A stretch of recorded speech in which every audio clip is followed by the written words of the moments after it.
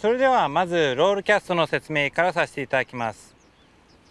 ロールキャストをされる方で、えー、スペイキャストができない方はたくさんいらっしゃいますけれどもスペイキャストをされる方でロールキャストができない方は一人もいません。で全てのスペイキャストの基本はロールキャストになりますのでよく見ていてください、えー、まず最初、えー、15ヤードほどのラインを出してください。そして自分の前方にキャストします。で、えー、次なんですけどもロッドのティップは水面と平行にして始めてください。そして徐々に徐々に後方へ持ってきます。この際張りすぎず緩めすぎないというのはポイントです。このように一回強くラインを跳ねてしまったりあるいは慎重にやりすぎてライン自身がテンションを失っているような状態というのはあまりロールキャストでは良くないようです。そして、えー、ポイントとしてはですね実際ロールキャストはオーバーヘッドキャストと比べてラインが360度ターンします。オーバーヘッドは180度ですけどもその間時間を取ってやる必要があるので狙いはより情報通常は対岸の木の梢を狙ってくださいというふうに、えー、スコットランドでは言ったりしますけれども実際対岸に木っていうのは全然生えてないとこもたくさんありますからで目安としましては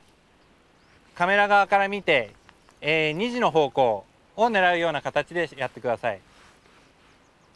そして多くの方がですねキャスティングの解説書にもあるんですけれどもロールキャストというと水面を転がるキャストをイメージされてこのように竿をロールダウンされます。ただこのロールダウンするタイプのロールキャストというのはスペイキャスト用のロールキャストのためには非常に有害になります。後方に持ってくる時の竿の角度はだいたい11時。そしてフォワードキャストはどんなに下ろしたとしても2時。最初の狙いは1時で止めるようにしてください。このように高い位置で止めて初めて空中できれいにリーダーフライまではターンオーバーします。これは非常に重要なポイントです。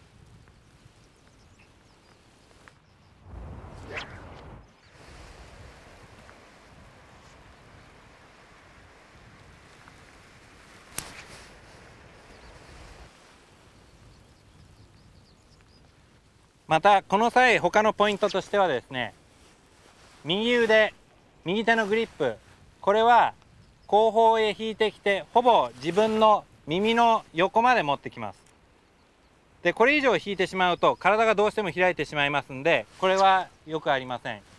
基本的に自分の背中に鉄板をくくりつけたというふうに想像してください。そうすることによって体が開かずキャスト時戻りすぎるということはありません。基本的にロールキャストの際は体を開いたり回したりするといった動作は全部エネルギーのロスになりますからこれは避けてください。こういうふうに持ってきて体を肩を回さず前方にキャストです。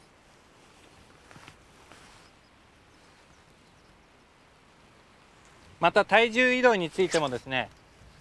最初の15ヤード程度のキャストの時にはそれほど大きな差はありませんけれども30ヤード40ヤードというあるいはそれよりもっとというキャストを狙っていく場合はこの体重移動のタイミングがそのキャストを伸ばすコツになります。後ろに引いてくる時にこの場合右足の方に体重を移しキャストと同時に左足の方に移します。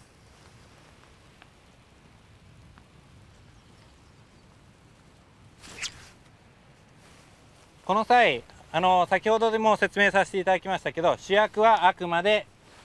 フォアグリップを持っている上腕側。左腕はあくまでその補佐になります。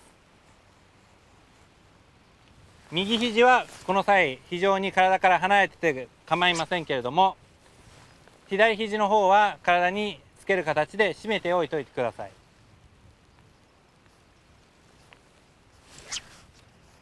後ろから見た時の竿の角度はだいたい1時ぐらいを目安にやってください。実際のスペイキャストになる場合は1時半あるいはアンダーハンドキャストというバリエーションになると2時近くまで倒す場合がありますけれども最初ロールキャストのタイミングをつかむ際は縦気味の方が分かりやすいです。